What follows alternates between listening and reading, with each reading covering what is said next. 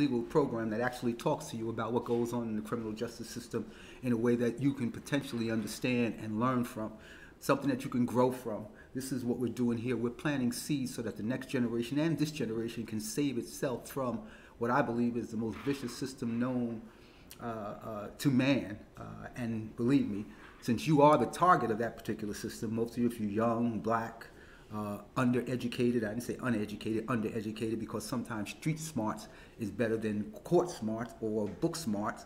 So you might be undereducated in the system. So what I want you to do is sit back and learn what the system does and what it really is about. If you have that, if you're armed with that kind of knowledge, inshallah, you'll be able to move in a way that begins to change the dynamic in the system one of the things that the system does best is it depends on your lack of knowledge. It depends on the idea that you don't know what's going on. When you hear certain terms, you think you understand what's going on, but there are things going on so far behind the scenes, so far that have existed for so many years in the system that it, it really, by the time you get to knowing what it is that hits you, you're already smashed. Uh, so let me welcome you all. Uh, again, this is uh, the Raw Law Project. It's at radioonfire.com. You should always check out Radio on Fire with my man DJ Diamond. He's my executive producer. He always makes me sound good. Um, I don't know what can make me look good, but Allah knows best.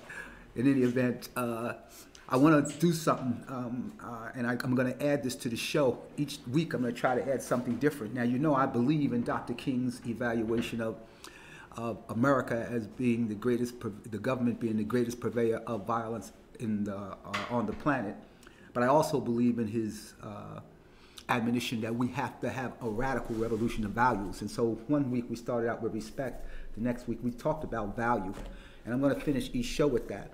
I'm going to start out each show with just a little small commentary about something that I know is going on in the news because, again, uh, last week I played an excerpt from you from uh, El Hajj Malik El Shabazz Malcolm X. And I played that in a particular context on this generation of leadership trying to understand what the generation and the generations before them brought and left for them to learn and whether or not we in fact learned it.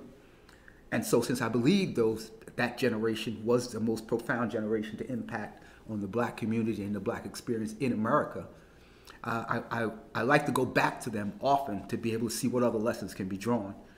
And what Malcolm was talking about was how the press um, can criminalize a whole community. And it can make you think that, he used to say that what you can make what's good seem to be bad and what's bad seem to be good. And one of the examples he used was that in World War II, uh, the U.S. went to war in World War II and entered that war, and the enemies were the Japanese and the Germans, and the friends were the Chinese and the Russians. Following the war, the friends became somehow the Japanese and the Germans, and the enemies became the Russians and the Chinese.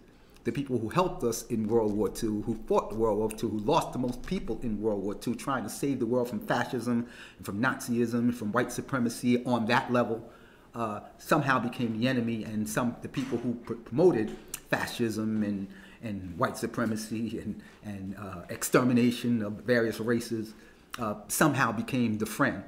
And it was done through a quick manipulation of the press. Now, why do I say that? All week I've been reading something that I think has been really targeted at uh, our community. And I, I, don't really like to follow uh, pundits and things like that, but I do like to see what trends do. And one of the trends was this whole concept of what, of whether or not Donald Trump is a racist. Uh, I don't really care one way or another about Donald Trump uh, being a racist or not a racist, etc. I don't think I know uh, very many um, people who have been leaders in America who weren't racist. Uh, the question is how ignorant uh, is the racist uh, in exposing what it is that is his racism. I mean, I don't think he's any different in my mind than Bill Clinton. All you got to do is go back and look at Bill Clinton's State of the Union address on immigration, and you get the exact same words as Donald Trump gave. Uh, all you have to do is look at uh, George Bush's uh, record and, uh, and Ronald Reagan's record on how they treated the black community with their crime bill and Richard Nixon's, and you'll see that there's not a whole lot of change. But see, what happens in the media is they are now redefining racism for you, for you, the black community. See, because at the end of this, it, it, Africa and Haiti and these so-called shithole countries, that was designed for you. That comment was designed for you. And, and look, everything that you look at in America, if you don't see yourself in it, you are missing it. Uh, you are missing the boat. You are missing the story. It has always been about you. Somehow you're locked in, in the middle of it because you're the economic voice, the economic impetus of this country, and therefore somehow you are connected to it. Uh, so please, always when you hear these kind of commentaries, they are always always think that they are directing it toward me, not directing it to some some Africans and some Haitians, etc. They are addressing it to you, you, the so-called black man and woman here in America. Now, how does that play itself out? This is just my little short commentary, and then we'll get into the subject matter of today. Racism, they're trying to define as the guy with the hood, the guy who runs people over at Charlottesville, the guy who used to lynch people, the guy who uh, called himself a Klanner, a John Birch Society kind of person. When in fact, racism, white supremacy is a concept that has been around for so long that even the poor white and the rich white share the same ethos, the same emotion, the same pathology that they are superior simply because of the color of their skin. And that color of their skin put them in a preferential position. And that preferential position gives them the right to make decisions as it relates to other people. So whether Donald Trump is president and outlandishly bold about his racism, I mean, he even comes out and says, I'm the least racist person that you met. In, in other words, I'm racist, but I'm least racist than the people that you meet. And he never denied being a racist. So why are we discussing it is beyond me. But how is he any different because his education is the same education that Hillary Clinton has? His education is the same education that 95% of America has. It's just that white America is in the position to exercise power that pushes their race forward and pushes other races back. That's what makes it racist. And so if you can go to your school, your local school, and you can find you a teacher that doesn't have a European teacher, white teacher, that doesn't have the ability to put their agenda forward, let me know. If you can go to a, a, a college and find a professor that doesn't have the ability to put his agenda or the agenda of what it is to be white in America forward as if it has validity for other communities, let me know. Because I'm telling you that that's the nature of racism. That they are racist because they are taught to be racist and they're unapologetic about it because they don't see it except when they see it when, in the form of a hood or an orange president or someone calling out other countries and other cultures. But the racism is embedded in the system, and everyone who is in the system either is a participant in it or a victim of it. And we have got to stop allowing other people to define terms like racism out of the box of what it is that we deal with each and every day when we go down to the welfare office or when we go to the bank or when we go to uh, pay our rent or, or, or, anything anything like that. We go to buy some property, especially in some places like Baltimore and Newark and stuff like that. So please, don't fall victim to the propaganda of the redefining of racism. It has existed it's, it, since day one here, where they say, if you're white, you're all right. If you're black, get back. Don't fall victim to someone else telling you that this guy is a racist, as opposed to that the system is systemically racist in and of itself. Now, with that said, last time we talked about the law, and this is a law show. Last time we talked about the law, we talked about you having a lawyer, uh, what it's like to get a lawyer, um, uh, some of the things that the lawyers have to go through, etc. Because you just got arrested, you're in trouble. Uh, one of the things that you know is that when they put those cuffs on you, you're not going anywhere. Um, I mean, you can fight, you can scream, you can scratch, whatever, but do whatever you want to do, but you're not going anywhere. You're going to jail. You're going somewhere where you're going to be in custody. You need a lawyer. Make sure you get a lawyer. If you can't afford a lawyer, a lawyer is supposed to be appointed for you by virtue of the Constitution. Now, the question is competency. Do you have someone who you believe is competent? I've been in jurisdictions where when you show up at that first time in court, that uh, it's called an arraignment. Arraignment is once you get indicted. We talked about the grand jury process and the indictment. And so that you know, I, I, I left this out, so I want to add this. So you make sure you go back to your notes, grab your notes and look at it. In, when an indictment comes down, Remember, I told you the prosecutor has complete control over the grand jury. They get to decide what evidence comes in, and they get to decide basically the impact of that particular evidence, whether they're going to stress it or whether they're going to leave it out, whether or not they're going to accent it. That's why the whole expression a prosecutor can indict a ham sandwich. But the defense is not there. There are no defense attorneys in the grand jury to question witnesses. This is why it's a strictly prosecutorial function. And again, I gave you the example of the, the make believe boxer, Mike Lyson, who the lawyer, who was a tax lawyer, decided to let him go to the grand jury, and he got smoked in the grand jury, only to have that grand jury testimony really smoke him when he went to trial. So again, remember, it's a prosecutorial function. What else is a prosecutorial function? You begin your first adversarial process, part of the adversarial process, with your lawyer at your arraignment. Now, many of us can't afford to hire a lawyer. So when we walk into the courtroom for that first arraignment, we're probably meeting our lawyer for the first time. It may be a public defender, as I told you before, and as I say in the book, my book, Raw Law, an Urban Guide to Criminal Justice, and it's also Raw Law, a Hip Hop Guide. Um, when the corporations got a hold of it, they changed it to Urban uh, because they felt like it was too black, just between you and I, and truth be told. But you live and you learn. So uh, so they changed it and they did some interesting things with it, but they didn't. Out, they, I didn't allow them to change the content. The content stands for what it stands for. When you go into that courtroom, an arraignment means that they are going to tell you what you are charged with.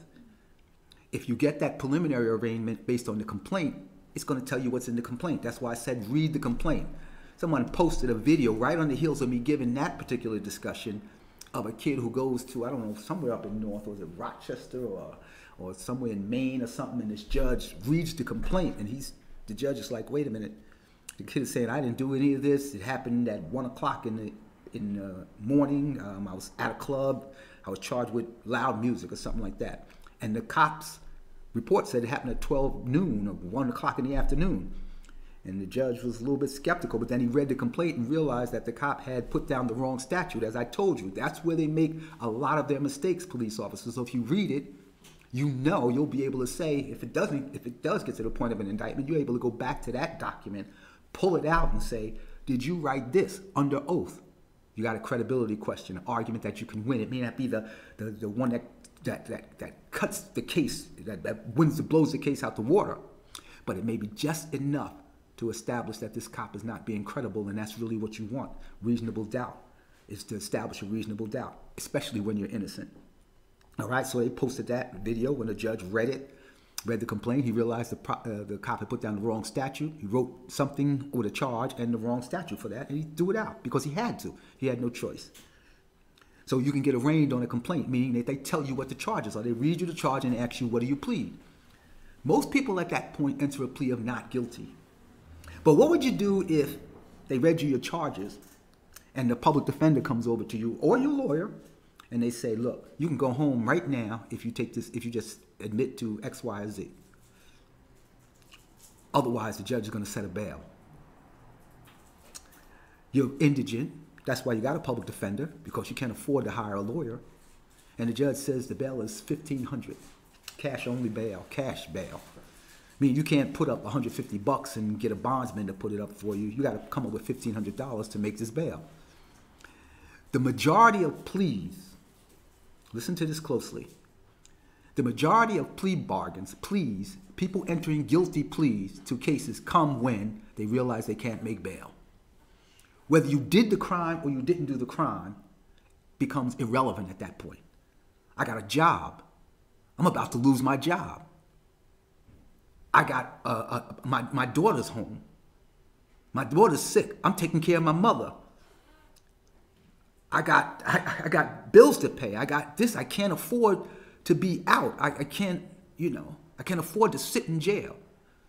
I'm a I'm a crip in a blood town. I can't afford to be going to that county jail. Ain't nothing but bloods there. That's when they take that plea. Now, the reason why I'm telling you that is because you, everybody thinks the arraignment is something like, okay, it's, it's a performance. It's like, okay, it's you go in, you say you're not guilty, boom, you're gone. But when they set that bail on you, and you can't afford to make that bail, you go into the jail until you make bail. The most infamous case, obviously, is uh, Kalief Browder case, I believe it is, out of New York, where the kid is in jail for three years because he can't make bail. And it wasn't a steep bail. It wasn't like it was, you know, a bail was a million bucks, but his family could not afford to make bail. During that three years, he was tortured, he was beat up, he was smashed by guards, he was locked in solitary confinement at 17 years old. So he goes in at 17, he comes out at 19 years old, 20, mentally disturbed. He eventually winds up committing suicide. All of a sudden, everybody's into something called bail reform. But this has been going on for forever. It's been going on for forever.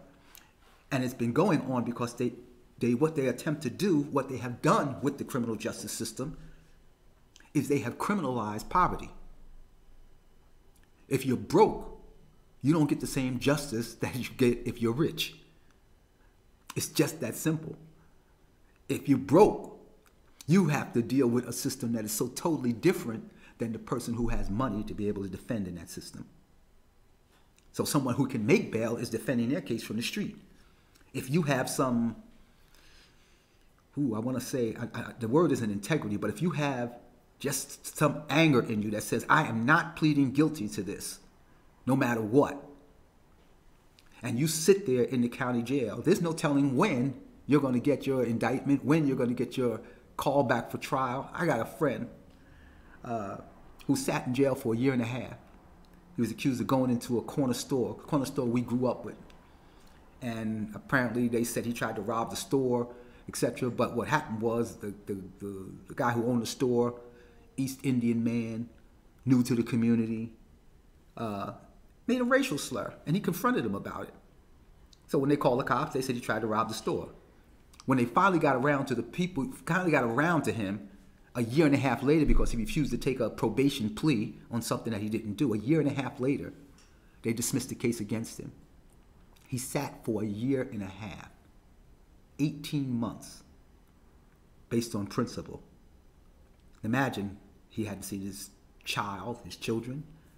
I mean, you know, they come up to the jail to see him, sure. I mean, but that's not like hugging them for if you celebrate Christmas or Thanksgiving or the Eid or you pray with them or whatever else you do with them. That's just nothing like that. You don't you take a man out of his home and and then you got your son who's growing up saying my dad's in jail and you got to say that when he gets to school on uh, parent teacher day and they ask you what did your father do and you want to say he plays for the Knicks you know or or that he's a he's a businessman but really he's in jail and the kid is making up all kinds of excuses etc as to what dad does or what dad did and the kid is embarrassed. And so the kid is already growing up with a stigma.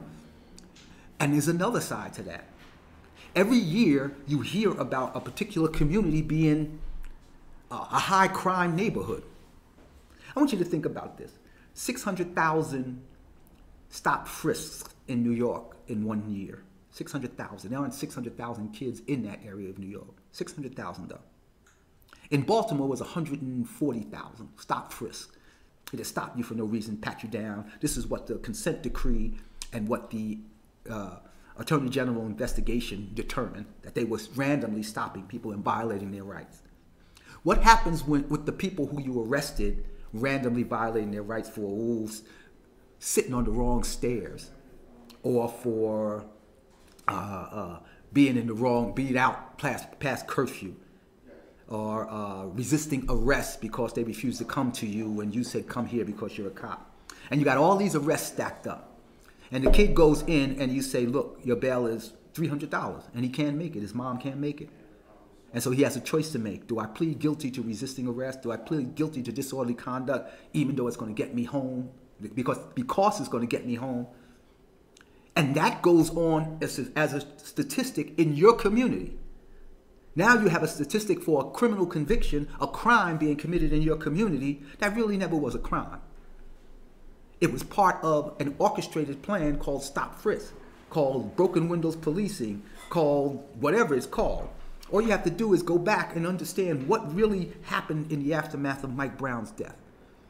And the aftermath of Mike Brown's death, they went into Ferguson, Missouri, and they began to investigate and they found out that what was going on was that they were ticketing and stopping and harassing young black men and especially black men and they would give them tickets and summonses and things like that and then give them fines knowing that they couldn't pay the fine and then when they couldn't pay the fine they would charge them with contempt meaning they have a criminal record And then they would use that way of one, penalizing the poor, gaining money, and incarcerating black men out of the job market. Because the critical question is now, once you have a criminal record, you can't get public housing, you can't get loans, you can't get uh, uh, student uh, federal funding for student aid. You can't even have a driver's license. Think about this: you can murder someone, be charged with murder, and still keep your driver's license, but you can't sell drugs and keep your driver's license. Or you, I mean, how silly are some of these laws? But again, they target a particular community, and they are targeting our community. So we have to understand the importance of arraignment as to what is going to happen when you walk into that room. The minute you hear, if you take this plea, you have a decision to make. You're much better off if you know that that decision is coming when you get there than you are if you get there and you're hit with it. You know, so that means once you get that lawyer, once you know who that lawyer is, and again, sometimes I was a public defender. So I know what it's like to grab 10, 15 files and have to walk down and talk to people and only have 10 minutes with them before a judge calls the case up and says, um, enter the plea of not guilty on your behalf. I'm setting the bail at $2,000. And then you try to make an argument, judge, this guy, he's indigent. Then what indigent means is that he can't afford counsel. So if he can't afford counsel, what makes you think he can afford bail? So there, it doesn't make sense. It doesn't add up. Because bail is only supposed to be that thing that ensures your presence in court, ensures your return to court. So that bail reform, which is in place now and, and around a lot of places around the country, is supposed to be designed to make sure that you can return to court without being punitive against the poor. But believe me, what do I always tell you? If every black man who, who hustles got together on a Wednesday and said, we're not going to sell drugs anymore on Wednesday, on Thursday, they'll pass a law saying it's illegal to, pass, to, it's illegal to conspire to not sell drugs on Wednesday, Wednesdays. And so you can bet that behind every reform that the legislature makes, that there's an economic motive, meaning they let people out of jail because it's costing them too much to keep people in jail, and that there'll be another backlash coming from the other side. Like, for example, in Baltimore, they have bail reform, where a lot of people charged with misdemeanors are getting what they consider to be released on their own recognizance or released to a bracelet or released to a program or something like that where they don't have to post a bail. On the other side of that is the what they consider to be so-called violent crimes or gun crimes. Person caught with a gun. Now they're getting to the point where they're saying we're not even going to give this person a bail. That's the opposite side of that. So you think you're winning on one end and you're losing on the other one, and you don't think that police officers who may not have your best interests at heart don't know these rules by the way, did any of you read about the sheriff's officer in, uh, in I think it was Los Angeles this weekend? It Was Los Angeles? Who was busted because he was running a racketeering network, the biggest racketeering network in LA, was being run out of the police department? Yeah. I mean, so so you get an understanding as to what we're dealing with as a community. All right? Because you won't you won't say nobody will say that if the police station is at one Lincoln Avenue, that one Lincoln Avenue is a high crime neighborhood. All right, but they'll say it if it comes out of my house that my house is a high crime neighborhood. And so again, take the arraignment very seriously. Be armed, be ready. Make sure you have a lawyer, and if you don't have a lawyer and you have a public defender, make sure that public defender is ready, armed to discuss bail. Make sure that person is ready to discuss your case, even if you don't know why you were arrested. When that judge gets up there and he starts speaking all fast and everybody's talking fast and all the words seem to be going over your head, stop the proceeding if you have to. Hold it. I don't understand, judge. I didn't do anything. I want to talk to my lawyer before we enter any kind of a plea, not guilty or whatever, you know.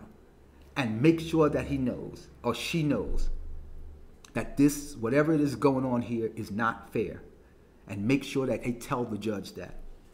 When you're dealing with bail, sometimes you get the opportunity to file what's called a bail motion, meaning you can put a motion in front of a judge with a package. They come up with a bail package, and the feds they actually do a full investigation, or as full investigation as they can. But in most states, you're able to put together a package and say, these are all the good things as to why you should give this person bail because it guarantees his return. It demonstrates his character. It demonstrates his church going. It demonstrates that he's the imam. It demonstrates that she loves her children, that uh, she's the sole provider, this, that, and the third. All these good things that suggest give this person either a, a low bail or no bail because the, the purpose of bail is to return, to make sure that the person returns to court. Sometimes you would think that if I say I'm coming back to court, I'm coming back to court. You know, I mean, and, and most people do. Most people just don't take off and go to North Carolina. Come on. I mean, come on. You can't afford to hire a lawyer. You can't afford to go off to Mexico. I mean, you can't hitchhike that far. So you have to come in and face the music. You have to hope you get a good quality representation. You have to hope that there's a lawyer out there who believes in what it is. And if you're a criminal and you know you did it, you know eventually it's the price of the game for you to get locked up. But what you want to do is to make sure you have quality representation. And I've told you before, go watch the lawyer you're about to hire, watch them work. Send people you trust to watch them work if you can't make bail, if you can't get out. Watch them work. Watch the kind of respect that they garner. Listen to what they have to say. I don't mean, look, I know some cats that's the loudest cats on the planet. They come in the courtroom, they be raising all kinds of you know what. Oh yeah, make themselves sound. You know what they're doing is it's a commercial.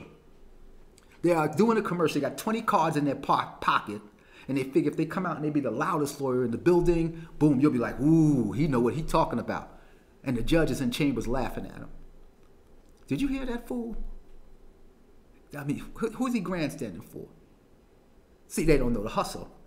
You think it sounds good. You think it sounds worthy.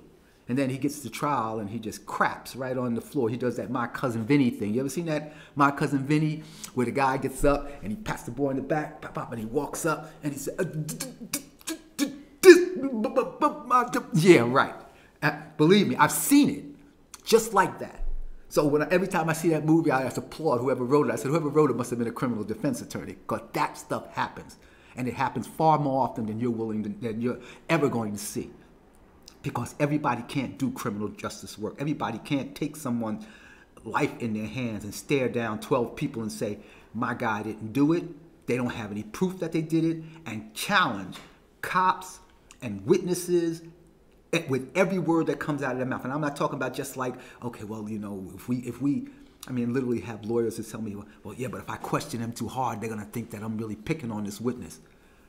I'm shaking my head. It's like, really? if the people are here in jury duty and they don't understand that it's your job to do this, and you don't understand it's your job to do this, to point out that the person is a liar or not telling the truth or is mixed up and confused in their truth, then you don't need to be here. You need to be like writing novels or something like that. Speaking of that, I'm writing a novel now. That's that's, has nothing to do with my skill level. All right. Um, but that's what it is. Arraignment. Take it seriously. You know, take it seriously. Understand that someone is potentially going to set a bail on you. So the minute you get arrested, you have to begin to click in. Let your emotions go. Understand what the process is going to do. You're going to be charged. You're going to see that complaint. You're going to read that complaint. You're going to get a lawyer. That lawyer is going to read the complaint. You and the lawyer are going to talk. If it's a public defender, you may only have 10 minutes. Great, but some of the best work I've ever seen was done in 10 minutes, and some of the worst as well. But that's the same thing if you have somebody that you pay. Some of the best work is going to be done because they have no, it's because they understand the process and they believe in it. They believe in doing it right, and some of them just don't have any character. So they're going to mess it up no matter what they do. They're just going to take your money and, dash. You know, I got a, um, I got a cousin right now right? Charged with uh, uh, a misdemeanor. And she uh, calls me, I need some help. I call this lawyer, and he tried to tax me for $7,500. Now, being in the process, I was like, hun, that's a one day, that's, that's a, you'll be in court one day and you won't be in court 15 minutes. You feel like paying him 7500 give it to me. I'll, I'll, I'll tell somebody what to do for you. I'll walk some kid through it. I mean, this makes no sense. You wouldn't do that. But that's what it is. That just shows you that, in my opinion, that that's a lawyer who really didn't care about that. He was caring about the dollar. And, and I'm not against lawyers making money. That's what they're in it for. It's a profession. It's your job. It's your business. You got to pay your bills too. But that's taxing. And we have to come to an understanding that we are in a community that cannot bear being taxed. We have to come with we have to come with the best even when we don't get paid the best. I'm just gonna put it out there like that. After your arraignment, you have the copy of it. If it's arraignment on a complaint, you'll get a copy of the complaint. If it's an arraignment on the indictment, that's a funny kind of a situation because most lawyers will come in and they say, Your Honor, I waive reading of the indictment into a plea of not guilty. I had a client ask me one time, he said, So, why, why, why are we waiving the reading of the indictment? Don't they, don't they have to read it to me? I said, brother, you how many charges you have on this indictment? He says, uh, yeah, you gave it to me. I said, didn't you read it? He's like, yeah. I said, you want the, everybody in the courtroom to know that you are charged with 10 rapes and 10 armed robberies and four counts of possession of a weapon? Do you want everybody to hear that? That's what waive it means. He doesn't have to read it again because you already read it. So when a lawyer says, I'm waiving a reading, that's all he's doing. Now, some judges will mess with you. I mean, like, for example, when you get into these major cases, these big time cases, some judges love the grandstand.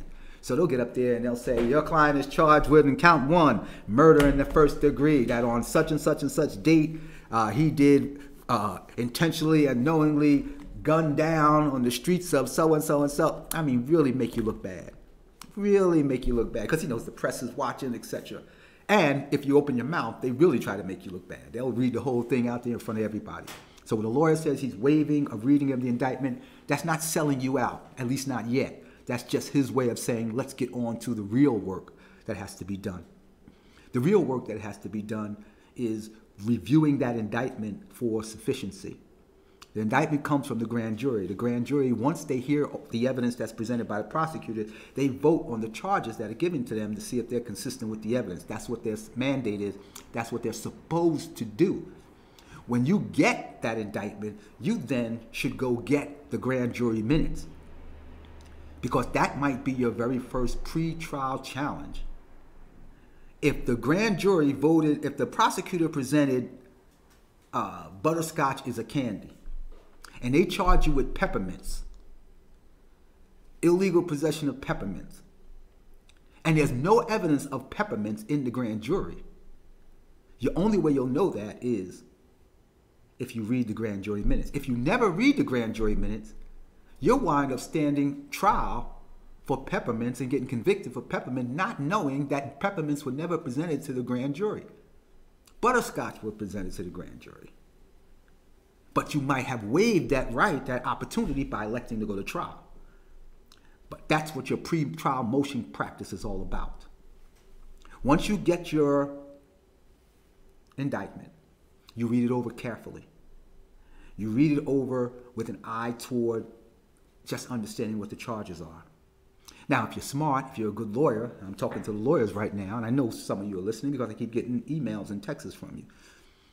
When you're smart, you read it over the first time just like you're reading over the newspaper. Don't get caught up in any of the superfluous language. Read it. Read it like you're reading the newspaper, like it's a story. Because what it'll do is just familiarize you with it. That's all it will do. You're not going to solve the problem then. By the third time that you read it, if there's some discrepancy that you want to see, you begin to take notes and jot notes on the cover.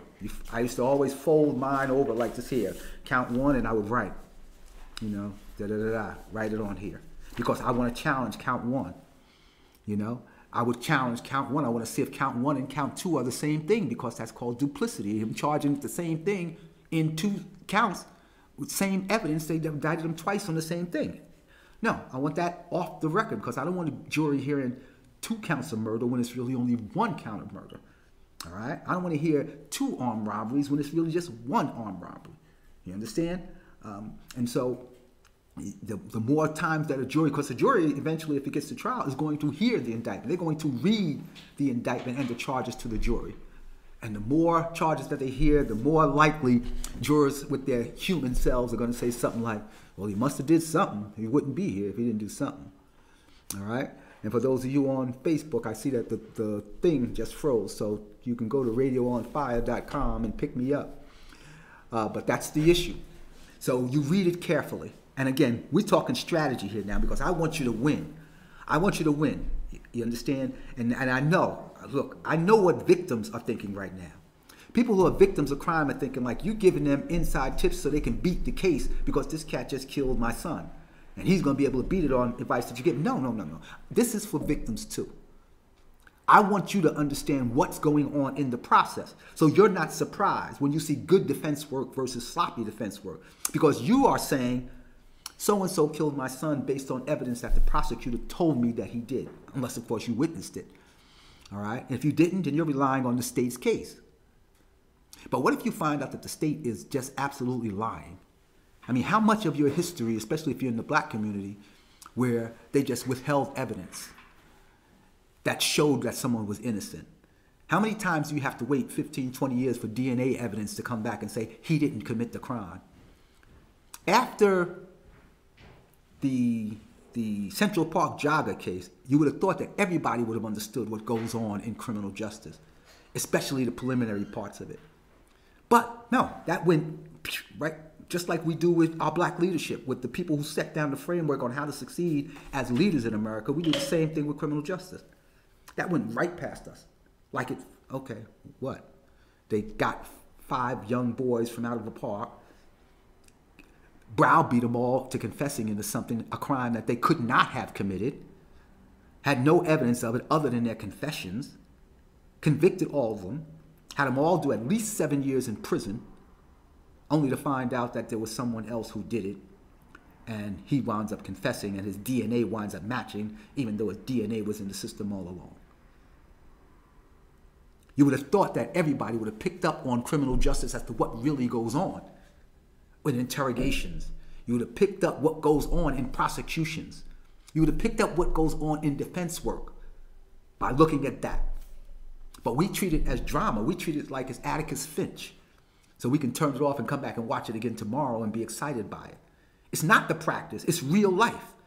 Real lives are being affected by this. Real victims have to come back and say, who did it if he didn't do it 15, 20 years later when the guy gets released from prison? When do I get a chance to heal if I'm a victim? I'll tell you a story. I was in Bridgeport, Connecticut on a um, racketeering case, murder racketeering case. And this woman is staring me down. The courtroom is packed. I do my cross examination of this witness, and this woman is staring me down so much to where I can feel it. I can really feel her, um, her eyes on me. And if those of you who know me know how I am, I don't, I don't play when it comes to uh, one when it comes to being in courtroom. I, you know, I laugh and joke, um, but it's all part of who I am. I, I don't, I'm not different, in my opinion, from the personality of who I am. You know, I just have to adjust to be aggressive, more aggressive in a courtroom. But I'm not more less aggressive than I'm on a basketball court. But I'm going to do the job the best I can, and God knows best. But I see this woman staring at me. I'm catching out of the corner of my eye. So I say to my client, "Who is that?" And he leans over to me. He said, "That's so and so's mother." I said, "The boy who's dead?" He's like, "Yeah." During the break, I get up. I walk over to her. I sit right next to her. I mean, you could see like hatred all in her eyes. And I said, Hi. I said, um, do, um, do we know each other? My name is Muhammad. She said, real coldly, No, we don't know each other. And I said, Look, I, I can't help but notice that you're staring at me. I said, Is there something that I should know um, about you and I? I mean, is there something that you want to tell me that uh, you know can help me not feel like I have to worry about you when I walk out this room. And she took like a real deep breath, the way sisters do, like like that Negro please look, you know what I mean? Like, and then she says, you know what? I'm really not. I'm angry, but I'm really not angry at you. He said, but your client killed my son, and I know he did it.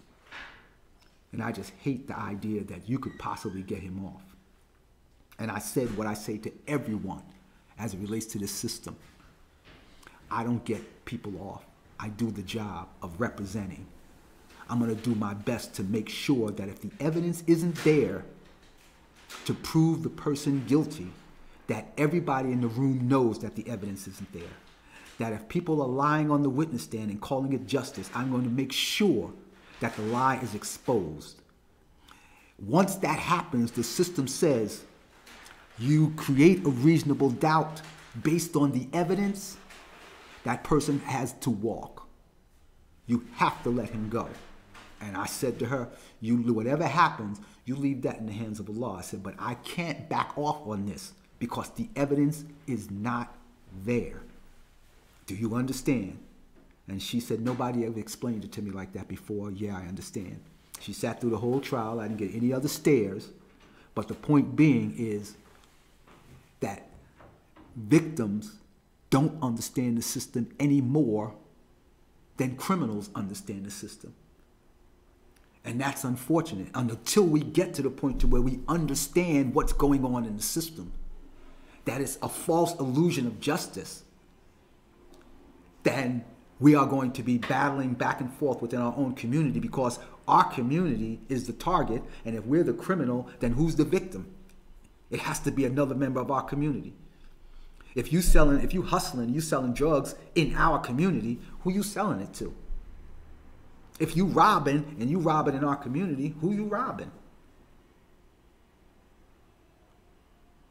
If you get locked up for robbing and you go to prison and you were the one supporting the household by virtue of your hustle or by whatever, who's the victim? Your family. You just crushed your whole family because you were the sole supporter. This is what it is to be in criminal justice. So you start with that arraignment. You get that indictment. You read that indictment. You read it because you are trying to prepare to make the system function the way it's supposed to function. Those of you who are not willing to do that, step off, find another job. Those of you who are doing it for the money, step out of our community. We don't need you in our community like that. Not anymore. Those of you who just love the attention, who think you grand, it's not time for you to be grand. The person who has to be grand is the defendant or he's the victim. One of those two has to be grand, has to be treated bigger than you. But those of you who love to see justice, to see it work, to make it work, get your behinds out there and kick some butt out there. Make it work. Make it make any prosecutor who steps forward in front of you earn it. Any prosecutor, when you're out there, you make sure you dot your I's and you cross your T's because you have a mandate to stand for justice. When you get that indictment, you make sure you did it right. You make sure you did it based on the evidence. The indictment after you read it, now you have pretrial discovery. Discovery is that part of the game that you you you can win and lose on. I used to have a practice where no matter what, uh, I would send a letter to the prosecutor's office and I would request almost everything at the kitchen sink. Because if you never request it, they never have to turn, they never will turn it over to you. But if you request it and it turns out to be relevant and they haven't turned it over to you, you have an argument that they're withholding evidence. Brady material is material that is exculpatory, meaning evidence that helps prove your innocence. They have to turn that over as a matter of law. If they don't, mistrial, game over, you win. But you have to establish that this was exculpatory. Not that it just helped, but it could have demonstrated your innocence and the prosecutor knew about it and never turned it over. Now, what, what would be some examples of Brady material? a confession from someone else. DNA evidence that connected someone else to the case that they never turned over to you because they wanted to prove they got five confessions from you little Central Park joggers. Exculpatory evidence that would show that you could not have committed the crime. A tape of you leaving the bar before the shootout. Mm-hmm.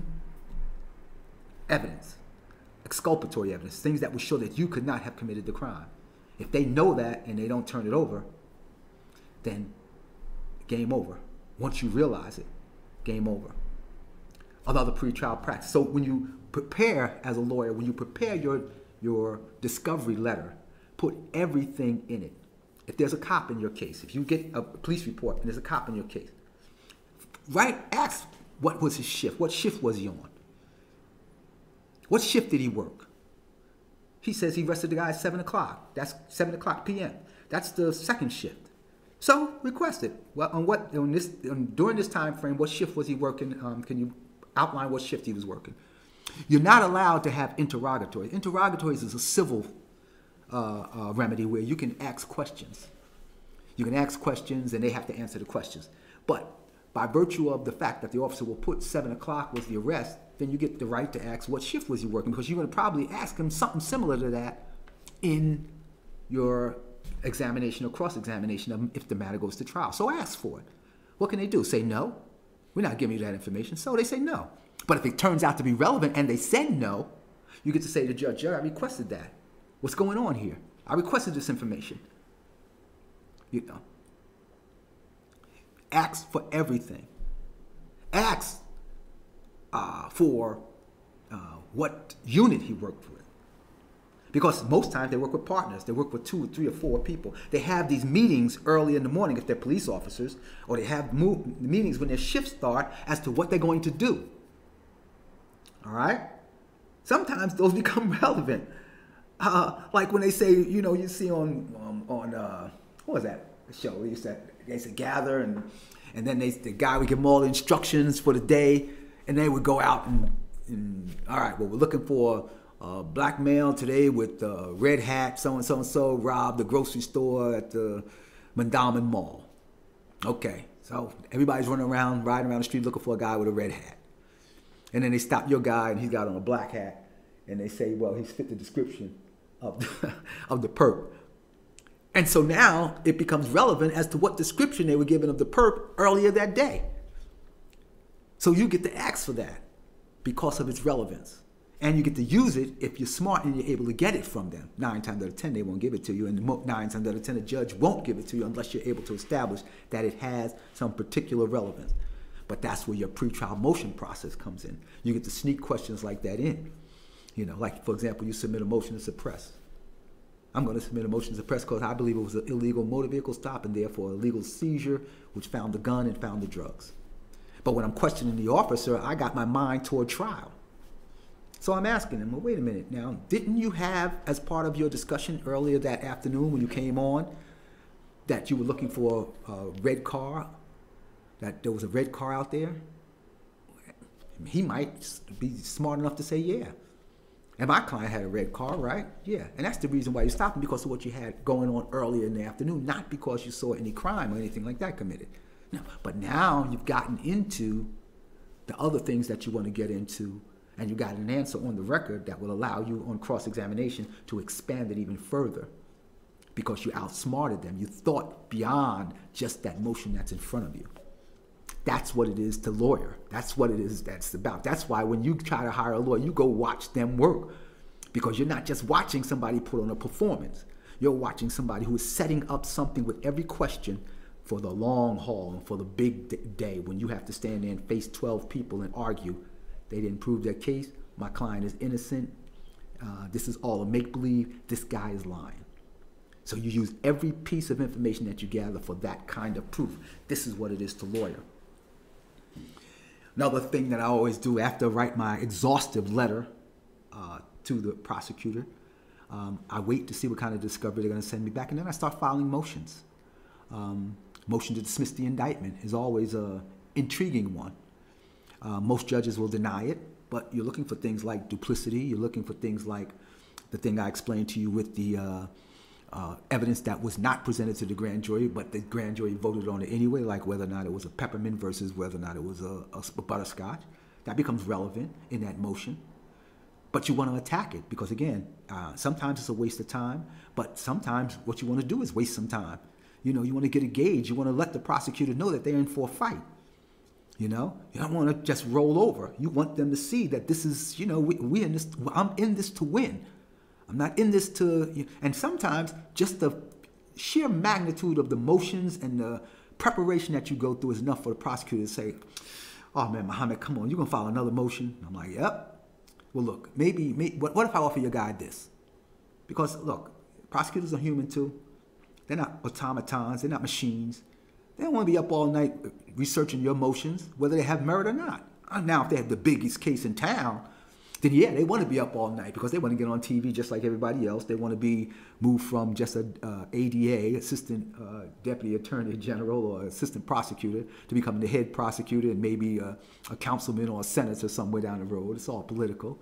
Or they just want to stay on state-sponsored welfare, which is what uh, the, the prosecutor's office most times is, public assistance. Uh, but that's what they do. All right? And so you want to put their feet to the fire if you really believe in it. All right. Um, last but not least, you file your motions. You file your motion to suppress if there's a search. You file your motion to dismiss if there's any hint that there's something that was not right in the grand jury. You file your motion for additional discovery and you use that additional discovery because these motions allow you opportunities on many occasions to question the witnesses that come into court I have an identification. I identify this person. Okay, you have a right to a hearing to determine whether or not that identification was admissible, was done according to the record. So you file that motion. There's a confidential informant. Oh, yeah, there's a confidential informant. You are not entitled to a confidential informant to know who the confidential informant is unless you can establish that the confidential informant was a participant in the crime. But you file your motion you file your motion and then you find you find that link between the participant in the crime who you think is the confidential informant because sometimes it can be only one person.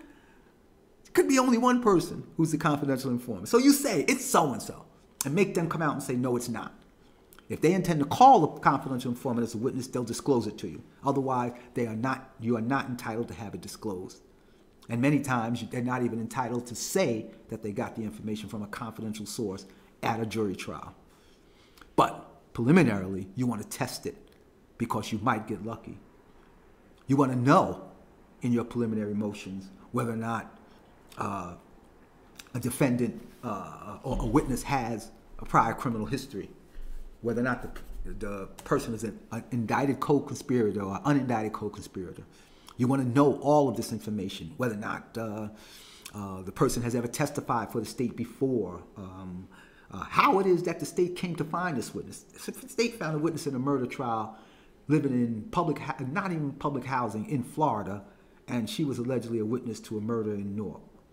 But she was living in Florida, and she, and she had an apartment there. The way they found her, believe it or not, was that she was still on probation. Uh, um, uh, she was still on probation in North, but she escaped to Florida. They couldn't find her at any time, but they found her for purpose of bringing her back to testify that she saw the murder that occurred. She gave a statement while she was in Florida. We knew what happened. They put pressure on her. They found her, knew that she had once lived in the same building. They needed a witness. They went down to Florida, grabbed her up, and said, We're going to violate you on your probation if you don't say so and so did it. And you know what she said? So and so did it. The problem was they didn't do what I did.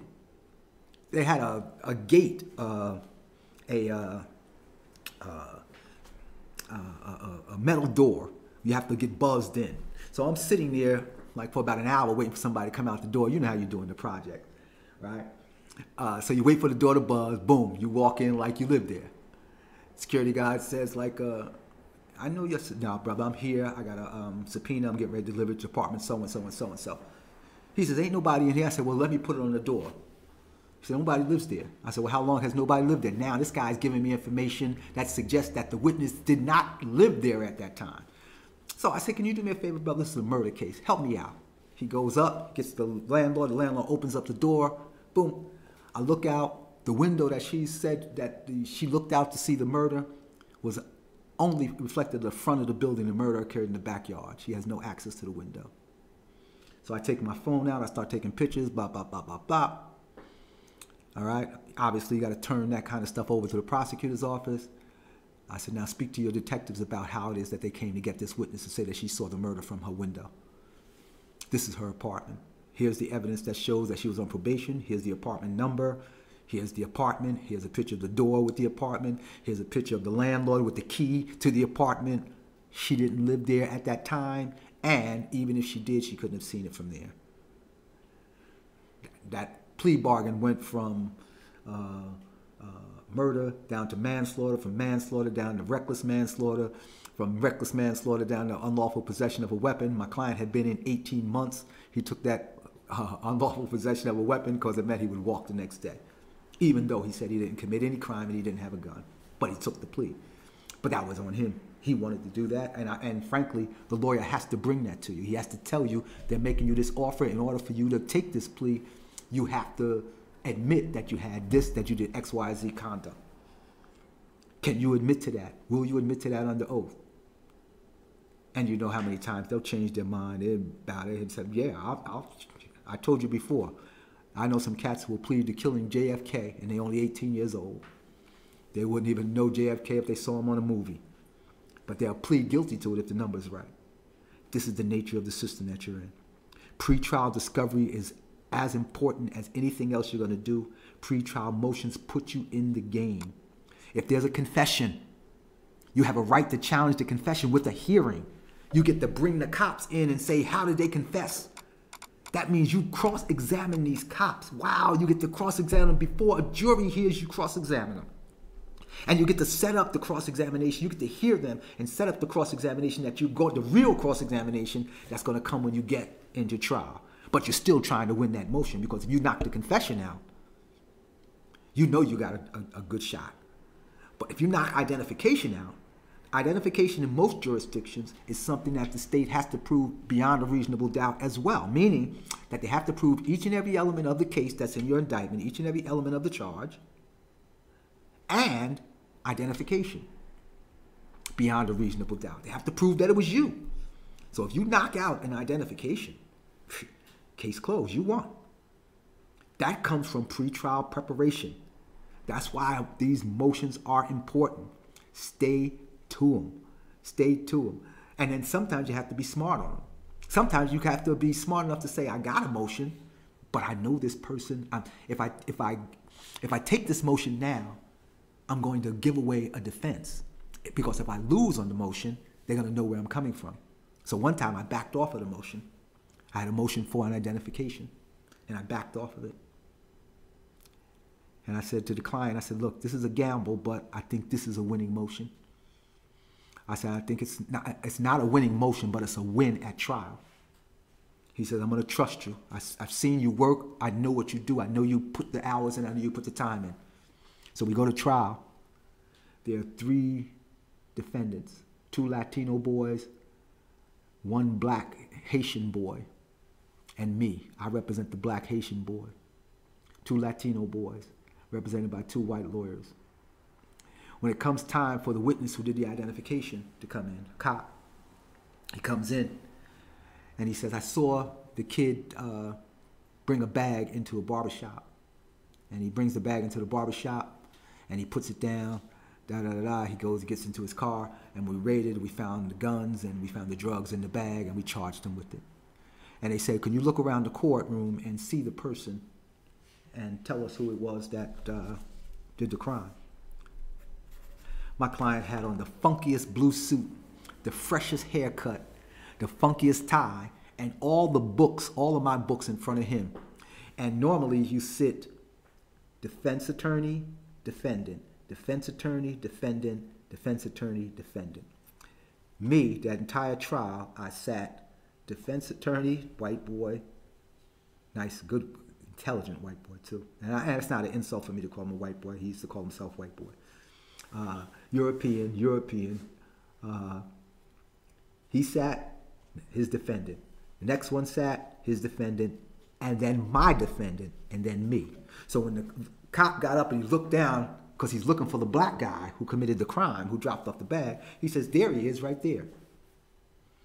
All he did was count the numbers lawyer, defendant, lawyer, defendant, lawyer, defendant. And he pointed at me. And I knew he would. My client was dressed. He had a pencil in his hand. He was taking notes and he was writing. I told him, keep writing. Bismillah, Bismillah, Bismillah. When I looked at his book, he had written it a thousand times.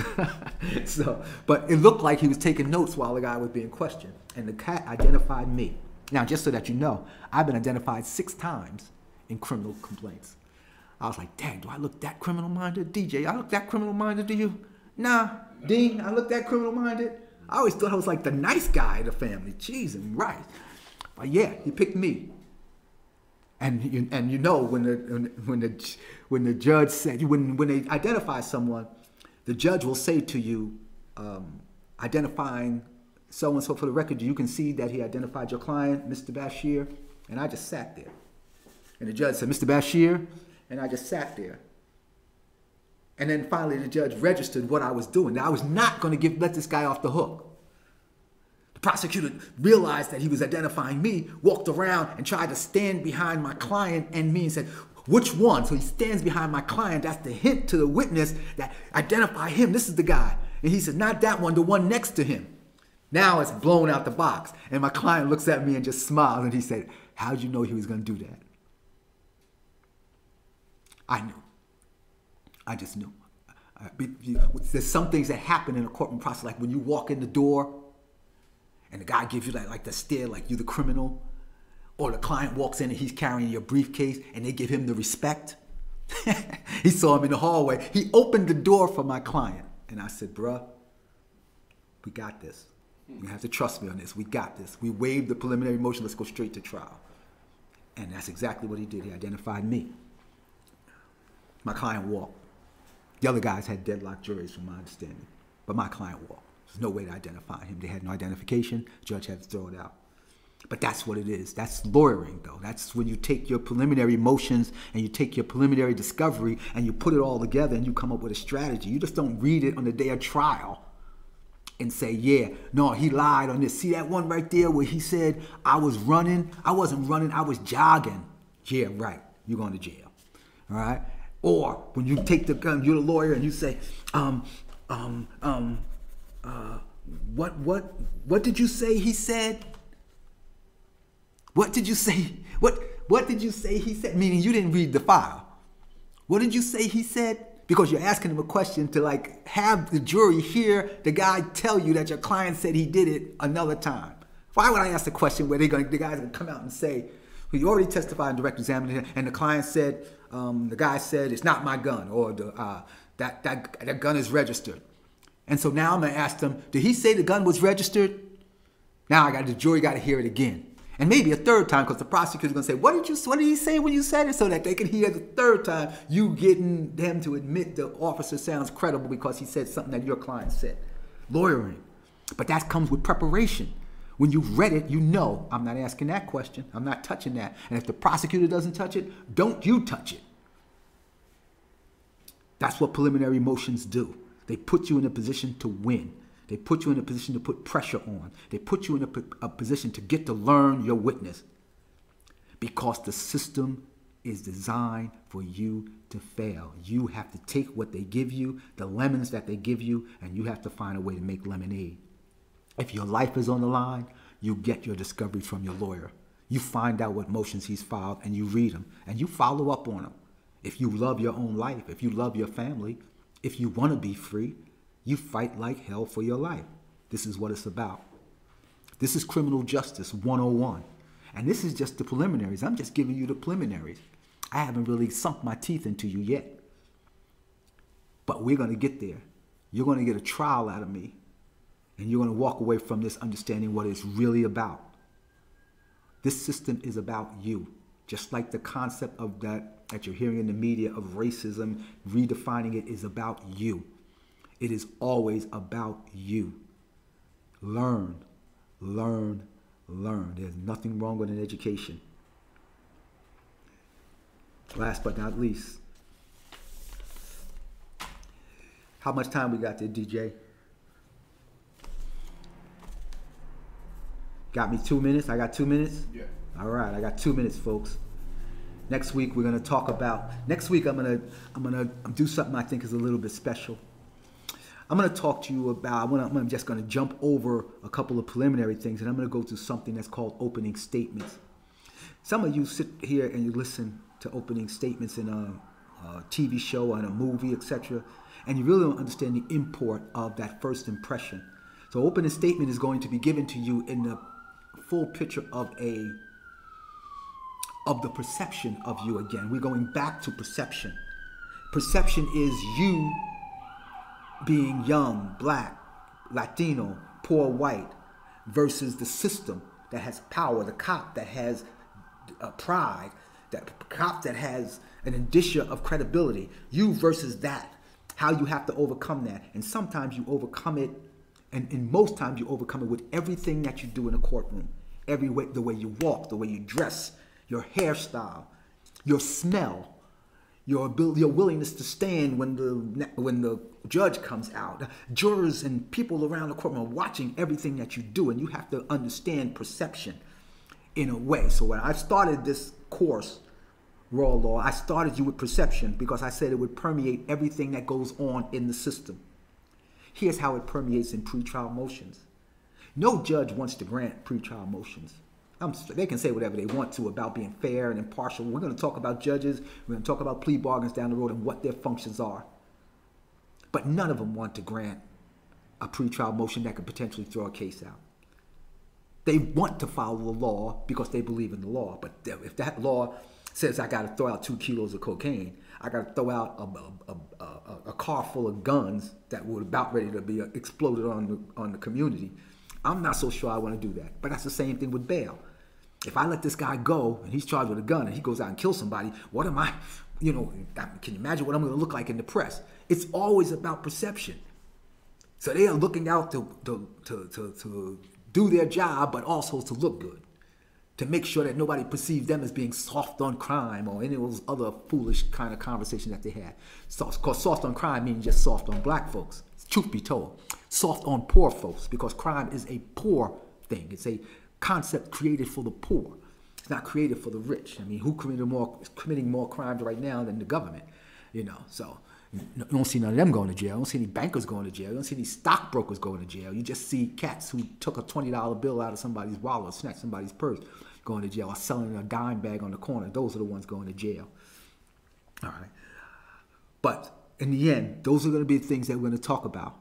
And we're going to bring you full circle with perception because it really is about how they see you, how you see yourself, and then the truth. This has been another edition of the Raw Law Project. If you don't know, you better ask somebody. I'm telling you, we're going to bring it and we're going to keep